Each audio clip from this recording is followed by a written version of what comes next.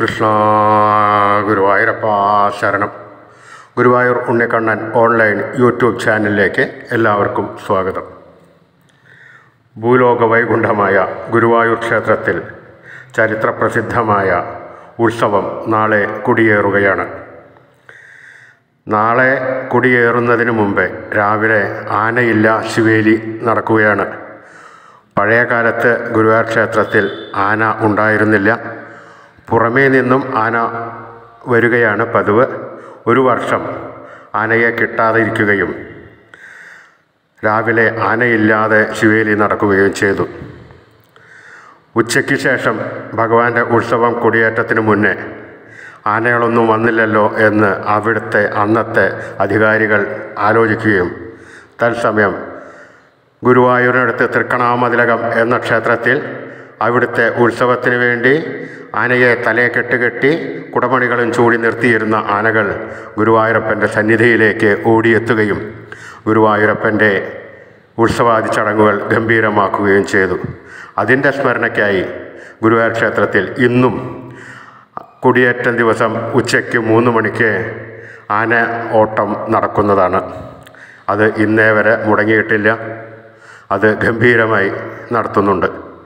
രാത്രി എട്ടര മണി ഒമ്പത് മണിയോടുകൂടി ഭഗവാന്റെ കൊടിയേറ്റം നടക്കും.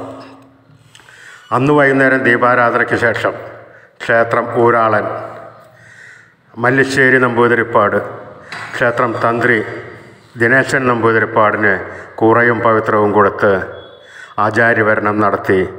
ഇക്കൊല്ലത്തെ ഉത്സവം ഗംഭീരമായി യാതൊരു തെറ്റുകുറ്റങ്ങളുമില്ലാതെ നടത്തിത്തരണമെന്ന് പ്രാർത്ഥിക്കുകയും അതിനോടൊപ്പം ദേവസ്വം ഉദ്യോഗസ്ഥന്മാരും ഭക്തജനങ്ങളും പരിചാരക വൃന്ദങ്ങളും ഉണ്ടാവുന്നതാണ്. അങ്ങനെ രാത്രി എട്ടര മണി ഒമ്പത് മണിയോടുകൂടി ശ്രീ ഗുരുവായൂരപ്പന്റെ കുടിയേറ്റം നടക്കുകയാണ്. ഉത്സവത്തിന് മുമ്പേ ഗുരുവായൂർ ക്ഷേത്രത്തിൽ സഹസ്ര കലശാഭിഷേകം ചടങ്ങുകൾ നടക്കുന്നുണ്ട്. ഇന്നായിരുന്നു ആ സഹസ്ര കലശ ചടങ്ങുകൾ ഉണ്ടായിരുന്നത്.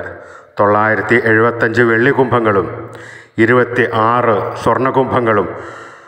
ക്ഷേത്ര മണിക്കിണറിലെ ജലം മന്ത്രപൂരിതമാക്കി പൂജിച്ചതിന് ശേഷം ശ്രീ ഗുരുവായൂരപ്പന്റെ ശിരസിലൂടെ ഈ ആയിരത്തി ഒന്ന് കുടങ്ങളും അഭിഷേകം ചെയ്ത് ഭഗവാന്റെ ചൈതന്യം വർദ്ധിപ്പിക്കുന്ന ചടങ്ങാണ് സഹസ്രകലശ ചടങ്ങുകൾ.